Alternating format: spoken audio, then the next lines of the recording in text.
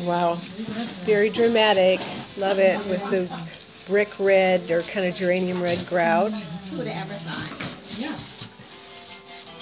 Here's the reveal here, Chris's with turquoise grout. I don't even think she's gonna have It's coming alive. need to fill in, to be honest with you. Because you want. I can see Vincent now. I'm gonna, when I, when I know that I'm totally done. Starry, starry night. Oh, yeah. I need that. There you go. Beautiful. Tiny little piece there. I think I'll be cutting up some.